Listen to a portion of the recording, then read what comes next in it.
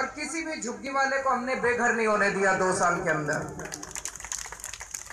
हमारा वादा है, हम भी नहीं चाहते, कोई इंसान नहीं चाहता झुग्गी में रहना।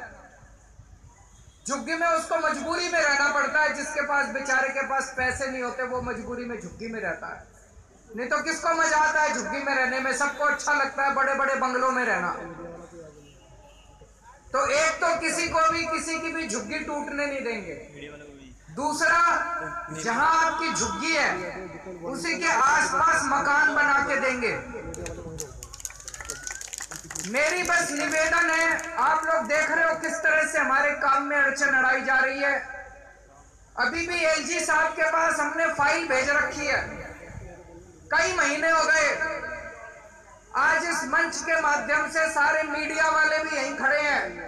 एलजी साहब से हाथ जोड़ के निवेदन करना चाहता हूँ कि हमने झुग्गी वालों के लिए जो पॉलिसी बनाई है, कि जहाँ झुग्गी वही मकान बन सके।